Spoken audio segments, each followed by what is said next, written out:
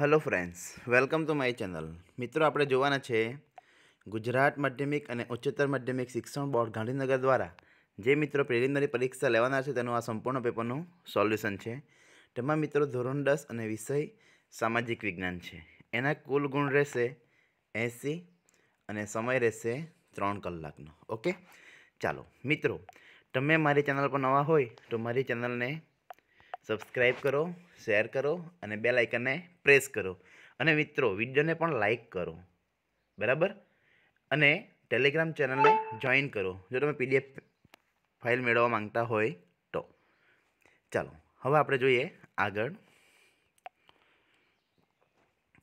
આ પ્રશ્નપત્રમાં ચાર વિભાગો આપેલા છે. કેટલા વિભાગ છે? ચાર. એમાં કુલ ચોપન પ્રશ્નો છે. મિત્રો, સૂચના છે આ. બરાબર? ચાલો, આગળ આપણે જોઈએ વિભાગ એ. હવે વિભાગ એમાં જોઈએ, નીચે આપેલા પ્રશ્નોના માંગ્યા મુજબ જવાબ આપો. દરેકનો એક ગુણ રહેશે. મિત્રો, ચોવીસ માર્કના છે. ધ્યાન રાખજો, ચોવીસ માર્કનો તમારો ઓબ્જેક્ટિવ રહેશે. ચાલો, ઢોળાવીરા. તો મિત્રો, તમને ખબર હશે. ચાલો, બોલો જોઈએ કોમેન્ટ બોક્સમાં જણાવો. ઢોળાવીરા કયું ઓપ્શન આવશે આમાં? ચાલો, હું તમને જણાવી દઉં છું. કચ્છ જિલ્લો. ઓકે? ચાલો, ત્યાર પછી જરીકામ. જરીકામ બધાને જ ખબર હશે. સુરત. કાઝીરંગા. તો કાઝીરંગા ક્યાં આવેલું છે? અસમમાં આવેલું છે. ક્યાં આવેલું બાળકો? અસમમાં. ત્યાર પછી આવે બોક્સાઇટ. તો મિત્રો, બોક્સાઇટ સાની ધાતુ કહેવાય? એલ્યુમિનિયમનું એક ધાતુ છે. ને વિશ્વ વ્યાપાર સંગઠન. તો આમાં તમે કન્ફ્યુઝ થઈ શકો. ન્યૂયોર્ક કે જીનીવા આવશે? ચાલો કોમેન્ટ કરો જોઈએ. શું આવશે? ન્યૂયોર્ક કે જીનીવા? ચાલો, હું તમને જવાબ જણાવી દઉં છું. જવાબ આવશે ન્યૂયોર્ક આવશે. ઓકે? ચાલો, આગળ જોઈએ, ખરા ખોટા. નીચેના વિધાનો ખરા છે કે ખોટા તે જણાવો. બિહારના પટણા જિલ્લાના બડગાંવ નામના ગામ પાસે પ્રાચીન નાલંદા પીઠ, વિદ્યાપીઠ આવેલી છે. તો મિત્રો, આ વિધાન ખરું કે ખોટું આવશે? ચાલો કમેન્ટ બોક્સમાં જણાવવો જોઈએ. તો મિત્રો, આ વિધાન આવશે. સાચું આવશે. ઓકે લોથલ અમદાવાદ જિલ્લાના ઢંઢોકા તાલુકામાં આવેલું છે. તો આ વિધાન કેવું આવશે? તદ્દન ખોટું છે. પંદર માર્ચને વિશ્વ ગ્રાહક અધિકાર દિન તરીકે ઉજવવામાં આવે છે. તો બાળકો, આ વિધાન સાચું છે કે ખોટું? તો એનો જવાબ આવશે સાચું. ઓકે માનવ વિકાસ આંક વર્ષ બે હજાર પંદરમાં નેપાળ પ્રથમ ક્રમે છે. તો આ વિધાન પણ કેવું આવશે? ખોટું આવશે. આતંકવાદ એક વૈશ્વિક સમસ્યા છે. સાચી વાત છે ને? તો આ વિધાન કેવું આવશે? સાચું. ઓકે? ચાલો આગળ જોઈએ. નીચે આપેલ ખાલી જગ્યામાં યોગ્ય વિકલ્પ પસંદ કરી ખાલી જગ્યા પૂરો.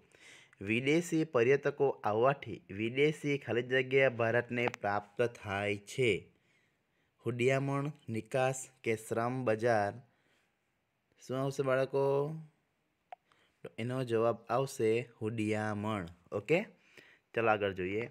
ઈસવીસન ખાલી જગ્યામાં વન્યજીવોને લગતો કાયદો અમલમાં આવ્યો. ઓગણીસો ચાલીસ, ઓગણીસો બોતેર ઓગણીસો બાવન? તો બાળકો, એમાં જવાબ આવશે ઓગણીસો ને બોતેર આવશે. ઓકે, ચાલો આગળ. પૃથ્વી પર જળ સંસાધનોનો મૂળ સ્ત્રોત ખાલી જગ્યા છે. તળાવ, પૃષ્ઠીય જળ કે વૃષ્ટિ? તો આવશે બાળકો, વૃષ્ટિ. ઓકે? કાવેરી નદીમાંથી ખાલી જગ્યા નામે જાણીતી નહેરનું નિર્માણ બીજી સદીમાં થયું હતું. પૂર્વીય યમુના, ગ્રાન્ડ એનિકટ કે ગોદાવરી? તો મિત્રો, એમાં આવશે ગ્રાન્ડ એનિકટ આવશે. ઓકે? ચાલો આગળ જોઈએ. ખાલી જગ્યાની રેલવેએ દુર્ગમ પર્વતીય વિસ્તારોમાં સુરંગો ખોદી માર્ગ બનાવી શ્રેષ્ઠ ઇજનેરી કૌશલ્યનું દ્રષ્ટાંત પૂરું પાડ્યું છે. કોકણ, ટ્રામ્બે કે વિવેક? આવશે. કોકણ આવશે. શું આવશે? કોકણ. ઓકે? આ મિત્રો હતા આપણા પંદર પ્રશ્નોના જવાબ. આગળ જોઈએ. સોળમો પ્રશ્ન.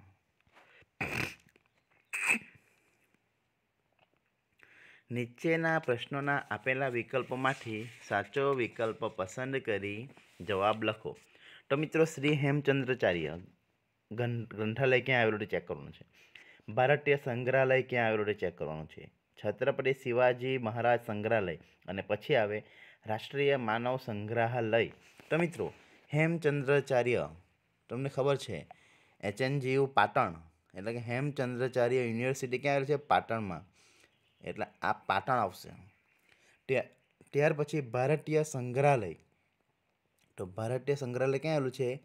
કોલકાતામાં. ત્યાર પછી આવે છત્રપતિ શિવાજી મહારાજ સંગ્રહાલય. તો એ ક્યાં આવેલું છે? તો મુંબઈમાં આવેલું છે. અને રાષ્ટ્રીય માનવ સંગ્રહાલય, તો એ ક્યાં આવેલું હશે? ભોપાલમાં. તો હવે આપણે ઓપ્શન જોઈએ. પહેલાંમાં સી, બીજામાં ડી, ત્રીજામાં એ ને ચોથામાં બી. એ ઓપ્શન આપણો એ રહેશે. કયો ઓપ્શન આવશે? એ ઓપ્શન આવશે. ઓકે ચાલો આગળ જોઈએ. વર્ગખંડમાં ખેત તલાવડી વિશે વિદ્યાર્થીઓની ચર્ચા દરમિયાન રજૂ થયેલું કયું વિધાન યોગ્ય છે? જસ કહે છે તે પીવા યોગ્ય પાણીની પ્રાપ્તિનું મહત્વનું સંસાધન છે. યસ કહે છે તે વધુ વૃક્ષ વાવો આંદોલનનું મહત્વનું અંગ છે. યુગ કહે છે તે જમીન ધોવાણનું અટકાવવાની આધુનિક તકનીક છે. અને ડક્સ કે છે તે વૃષ્ટિ, જળ સંચયની એક પદ્ધતિ છે. તો આ માટે સાચું કોણ છે? જસ, જય, જસ, યુ, કે, ડક્સ? તો ડક્સ સાચો છે અહીંયા. કોણ આવશે? ડક્સ. તે વૃષ્ટિ, જળ સંચયની એક પદ્ધતિ છે. ઓકે? આગળ. પૃષ્ઠીય જળનો મુખ્ય સ્ત્રોત કયો છે? વૃષ્ટિ, તળાવ, નદીઓ કે સરોવર તો મિત્રો, એમાં આવશે નદીઓ આવશે. કયો આવશે? નદીઓ. આર્થિક રીતે ભારત કેવો દેશ છે? વિકસિત પ્રકા પછાત, વિકાસશીલ કે ગરીબ? તો મિત્રો, એમાં આવશે ભારત વિકાસશીલ દેશ છે. કેવો દેશ છે? વિકાસશીલ. ચાલો, આગળ જોઈએ. પશુપાલન વ્યવસાયનો સમાવેશ અર્થતંત્રના કયા વિભાગમાં કરવામાં આવે છે? માધ્યમિક ક્ષેત્ર, પ્રાથમિક ક્ષેત્ર, સેવા ક્ષેત્ર કે આપેલા ત્રણેય? તો એમાં આવશે પ્રાથમિક ક્ષેત્ર આવશે. કયો આવશે? પ્રાથમિક ક્ષેત્ર. ઓકે? ચાલો, મિત્રો, હવે પછીના ચાર સવાલ છે તેમાંથી કોઈ પણ એક સવાલ હું તમને લખવા માટે આપીશ. તો બાકીના સવાલ આપણે જોઈ લઈએ. કોઈ પણ એક સવાલનો જવાબ તમારે આપવાનો રહેશે. ચાલો, હું એકવીસમો જવાબ આપી રહ્યો છું. નીચેના પ્રશ્નના એક બે શબ્દોમાં જવાબ લખો. બે દેશો વચ્ચે ચાલતા વ્યાપારને શું કહે છે? મિત્રો, બે દેશો વચ્ચે, જો રાજ્યો વચ્ચે ચાલતા હોય તો આંતરિક વેપાર કહેવાય. એટલે રાષ્ટ્રીય વેપાર, બરાબર? તો બે દેશો વચ્ચે ચાલતા વેપારને શું કહેવાય? આંતરરાષ્ટ્રીય વેપાર કહેવાય. શું કહેવાય? આંતર રાષ્ટ્રીય વેપાર કહેવાય. ધ્યાન રાખજો. કયો વેપાર આવશે? આંતરરાષ્ટ્રીય. ગુજરાતનું સૌથી મોટું રેલવે સ્ટેશન કયું છે? તો અમદાવાદ. કયો આવશે? અમદાવાદ અને માતા પિતા, માતા પોતાના બાળકોને ઉછેરે છે. આ કઈ પ્રવૃત્તિ કહેવાય? તો બિન આર્થિક પ્રવૃત્તિ કહેવાય. કેવી કહેવાય? બિન આર્થિક. ઓકે? ચાલો, આ ચોવીસમો સવાલ છે તમારે જાતે લખીને કોમેન્ટ બોક્સમાં મને જણાવવાનો છે. ઓકે? ચાલો, આગળ જોઈએ. મિત્રો, હવે હું તમને મારી પીડીએફ ફાઇલ તરફ લઈ જાઉં છું, કારણ કે દરેક વિભાગનો હવે કોમ્પ્યુટરાઇઝ સોલ્યુશન તમને મળશે. ચાલો, મિત્રો આ સવાલના જવાબ તમે જોઈ ગયા છે તે છતાં પાછા આપણે એકવાર જોઈ લઈએ. બે દેશો વચ્ચે ચાલતા વેપારને આંતરરાષ્ટ્રીય વેપાર કહેવાય. ગુજરાતનું સૌથી મોટું રેલવે સ્ટેશન અમદાવાદ છે અને બિન આર્થિક પ્રવૃત્તિ આવશે. ઓકે? ચાલો, વિભાગ આગળનો જોઈએ. ચાલો. નેગ્રીટો પ્રજા વિશે ટૂંકમાં માહિતી આપો. તો મિત્રો, નેગ્રીટો પ્રજા. તો નેગ્રીટો પ્રજા વિશે પ્રજા વિશે તમે માહિતી જોઈ શકો છો આ. તમારી નજર સમક્ષ છે. કેવું આવશે? કેટલાક ઇતિહાસકારોના માટે નેગ્રેટો અથવા નિગ્રો ભારતના સૌથી પ્રાચીન નિવાસીઓ હતા. તેઓ આફ્રિકામાંથી બલુચિસ્તાનના માર્ગે આવ્યા, ભારતમાં આવ્યા હતા. શ્યામવર્ણ ચારથી પાંચ ફૂટ ઊંચાઈ અને માથે વાંકુડિયા વાળ એ તેમની શારીરિક વિશેષતા હતી. ઓકે? ચાલો, છવ્વીસમો પ્રશ્ન. ભારત પ્રાચીન સંસ્કૃતિ ધરાવતો દેશ છે. ભારત પ્રાચીન ગ્રંથ વિષ્ણુ પુરાણમાં ભારત વિશે નીચે મુજબનો ઉલ્લેખ છે. ઉત્તરતરમ જટ સમુદ્રસ્યમ. બરાબર? આ સંસ્કૃત પંક્તિ છે. એટલે કે સમુદ્રને ઉત્તર અને હિમાલય દક્ષિણ આવેલું સ્થળ નામ ભારતવર્ષ છે. જેના, તેના સંતાનો ભારતે છે તેમ કહેવાય છે. ભારતમાં શુભ કાર્યોથી શરૂઆતમાં લેવાયા સંકલ્પમાં ભારતવર્ષ, ભરતખંડ, જબુદ્વીપ, આર્યાવર્ત વગેરે શબ્દનો પ્રયોગ થાય છે. ભારત ઉત્તરી હિમાલય અને પૂર્વ પશ્ચિમ તથા દક્ષિણ દિશામાં સમુદ્ર જેવી કુદરતી સીમાઓ ધરાવે છે. આપણા દેશની સમુદ્ર, સમૃદ્ધિથી આકર્ષાઈને અનેક વિદેશી પ્રજા ભારતમાં વ્યાપાર માટે આવી સ્થાયી થઈ અને ભારતીય સંસ્કૃતિના મહાન મહાન મહાનમાં ભળી ગઈ. એ બધી પ્રજાની ભિન્ન ભિન્ન સંસ્કૃતિ સાથે આદાન પ્રદાન થકી દેશના અનેક પરિવર્તનો જોવા મળ્યા. એ રીતે પેઢીમાંથી બીજી પેઢીમાં આપણા વાર સાંસ્કૃતિક વારસાનું હસ્તાંતરણ થયું અને સાતત્યપૂર્ણ વિકાસ થયો. આમ ભારત પ્રાચીન સંસ્કૃતિ ધરાવતો દેશ છે. ચાલો, પાટણના પટોળા વિશે ટૂંકમાં માહિતી આપો. પાટણના પટોળા બનાવવામાં રેશમના વસ્ત્ર અને પાટણના પટોળા કહેવાય છે. બેવડ ઇક્ત બેવડ એટલે બંને બાજુ અને ઇક્ત એટલે વણાટ પહેલાં રંગાયેલા રેશમમાંથી બનાવેલું કાપડ. આમ બેવળ ઇક્ત એટલે તાણા અને વાણાથી ગૂંથાયેલા સાડી કે જેમાં સાડીની બંને બાજુ એક જ આકાર દેખાય છે. બરાબર? ચાલો મિત્રો, આગળનો સવાલ છે. માનવ જીવન અને માટી વચ્ચેનો ઘણો જ પ્રાચીન સંબંધ છે. મિત્રો, તમારી સમક્ષ સવાલ છે. તમે જોઈ શકો છો અને તમારે સ્ક્રીનશોટ લઈને લખી પણ શકો છો. ઓકે? ચાલો આગળ, ઓગણત્રીસમાં, કોણાર્કનું સૂર્ય મંદિર વિશે. તો મિત્રો, તમને ખબર છે, તેરમી સદીના ગંગ વંશના રાજા નરસિંહ વર્મન પ્રથમ સમયમાં આ મંદિરનું નિર્માણ થયું હતું. તે કાળા પથ્થરનો બનેલું હોવાથી તેને કાળા પેગોડાના નામે ઓળખાય છે. સમગ્ર મંદિરને સાત અશ્વથી ખેંચતા સૂર્યના રથનું સ્વરૂપ આપવામાં આવ્યું છે. આ રથને મંદિરના આધારે સૌંદર્ય બક્ષતા બાર મોટા પૈંડા છે. તે વર્ષના બાર મહિનાના પ્રતીકો છે. દરેક પૈંડાને આઠ આરા છે. તે દિવસના આઠ પ્રહટ દર્શાવે છે. રૂપાંકોની વિગત અને વિષયની વિવિધતાની દૃષ્ટિએ કોણાર્કનું સૂર્ય મંદિર અજોડ અને અનુપમ છે. મંદિરમાં દિવ્ય, સાંસારિક અને સજાવટી એમ ત્રણેય પ્રકારના શિલ્પો છે. એ શિલ્પોમાં તેરમી સદીથી ઓડિશાની સંસ્કૃતિ અને સભ્યતાનું દર્શન થાય છે. શિલ્પકલાની દ્રષ્ટિએ વિશિષ્ટ સ્થાન ધરાવતું કોણાર્કનું સૂર્ય મંદિર પ્રવાસીઓ માટે આકર્ષણનું કેન્દ્ર બન્યું છે. ભારત સોરી પ્રાચીન સમયથી ભારત તીર્થભૂમિ રહ્યું છે. વિધાન સમજાવો. પ્રાચીન સમયથી ભારત તીર્થભૂમિ રહ્યું છે. ભારતના લોકો વિવિધ તીર્થ સ્થળોની યાત્રાએ જાય છે. ભારતમાં ચારધામ યાત્રા અને બાર જ્યોતિર્લિંગની યાત્રા પ્રચલિત છે. ચારધામમાં બદ્રીનાથ, રામેશ્વરમ, દ્વારકા અને જગન્નાથપુરીનો સમાવેશ થાય છે.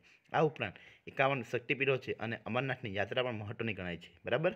ચાલો, ત્યાર પછી જંગલના વિનાશના કારણો જણાવો. વાતાવરણમાં કાર્બન ડાયોક્સાઇડની માત્રામાં વધારો થાય.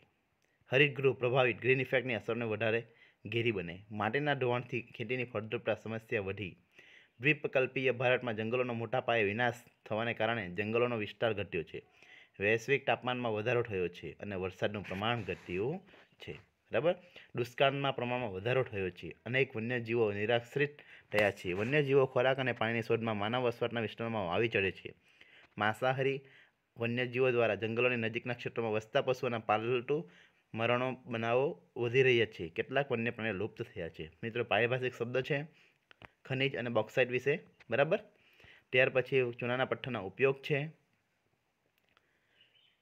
સિમેન્ટ બનાવવા થાય. આ ઉપરાંત એ લોખંડ, પોલાદ, કાગળ અને રંગ ઉદ્યોગોમાં ખાંડ શુદ્ધિકરણ તેમજ ચૂનો સોડાયસ કેલ્શિયમ કાર્બાઇડ વગેરે બનાવવા માટે વપરાય છે. ચાલો સનરાઇઝ ઇન્ડસ્ટ્રી એ પ્લાસ્ટિક ઉદ્યોગ છે અને પૂર્વનું માન્ચેસ્ટર એટલે કોણ આવશે બાળકો? અમદાવાદ આવશે. ચાલો, ત્યાર પછી આ સવાલ છે, દરેક સવાલ મિત્રો તમારે જોવાના છે અને લખવાના રહેશે, બરાબર? તમારી સમક્ષ હાજર છે આ સવાલ. સાંપ્રદાયિકતા દૂર કરવાના ઉપાયો છે. ત્યાર પછી ચિત્ર આપેલું છે તમને. ચાલો, ચિત્ર આપણે જોઈએ પહેલાં. જે વિભાગ બીનું આપણે સોલ્યુશન જોઈ ગયા. તમારી તમે જોઈ શકો છો દરેક પ્રશ્ન એ જ છે. ત્યાર પછી આ એક સી વિભાગમાં એક ચિત્ર આપેલું છે તમને. પહેલો પ્રશ્ન છે, આ કયા સ્તૂપનું ચિત્ર છે? તો મિત્રો, આ સાંચીનો સ્તૂપ છે. કોનો આવશે? સાંચીના સ્તૂપનું. ત્યાર પછી કયા રાજ્યમાં આવેલું છે? તો મધ્યપ્રદેશમાં. ક્યાં આવેલું છે? મધ્યપ્રદેશ. આ સ્તૂપ કયા ધર્મના સ્થાપત્ય કલાનો નમૂનો છે? તો મિત્રો, આવશે બૌદ્ધ ધર્મનો. ઓકે? આ ત્રણ પ્રશ્નો લખશો તો તમારા ત્રણ માર્ક આવશે. ત્યાર પછી મિત્રો, આગળના સવાલના જવાબ આપણે જોઈ લઈએ. ઓકે? બરાબર? આપણે આ સવાલ જોયા છે. કયા સ્તૂપનું? સાંચીના સ્તૂપનું. કયા રાજ્યમાં આવેલું મધ્યપ્રદેશ? આ સ્તૂપ કયા ધર્મના સ્થાપત્ય કલા નમૂનો છે? બૌદ્ધ ધર્મનો, બરાબર? મિત્રો, આ સવાલના દરેક જવાબ તમારી સમક્ષ હાજર છે. તમે જોઈ શકો છો અને તમે લખી પણ શકો છો, મિત્રો. એટલે તમારે આ સ્ક્રીનશોટ લેતા રહેવાનું છે, બરાબર? સ્ક્રીનશોટ લેતા અથવા અટકાવીને તમે જોઈ શકો છો. તેમાં તમને જરાક પણ તકલીફ પડશે નહીં. અને સવાલ પણ ક્લિયર દેખાય છે, બરાબર? એટલે મિત્રો, જરાક પણ સવાલ લખવામાં ચૂકતા નહીં. મિત્રો, અને તમારા સંપૂર્ણ માર્ક એંસીમાંથી એંસી માર્ક આવી જશે. એટલે મિત્રો હજુ પણ તમે બાકીના પેપર મેળવવામાં બાકી હોય, તો મિત્રો આપણે ચેનલને સબસ્ક્રાઈબ કરો શેર કરો અને બેલ આઇકનને પ્રેસ કરો. જેના થકી તમને દરેક પેપરના સોલ્યુશન મળી શકશે. ઓકે આ બધા જવાબ, દરેક સવાલના જવાબ છે. મિત્રો, હજુ પણ તમે મારી ચેનલને સબસ્ક્રાઈબ ના કરી હોય તો કરી લેજો, કારણ કે આવનારા દરેક પેપરના સોલ્યુશન તમને આપણી ચેનલ પરથી જ મળી રહેશે. અને મિત્રો ટેલિગ્રામ ચેનલને પણ જોઈન કરજો અને વિડીયોને પણ લાઈક કરજો. Okay thank you